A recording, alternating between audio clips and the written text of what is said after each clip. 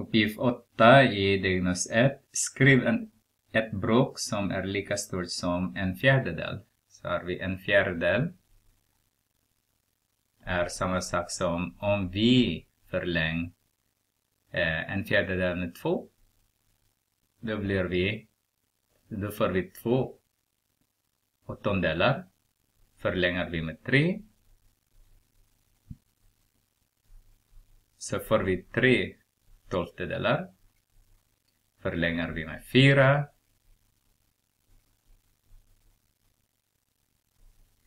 Så får vi fyra sextondelar. Förlänger vi med hundra.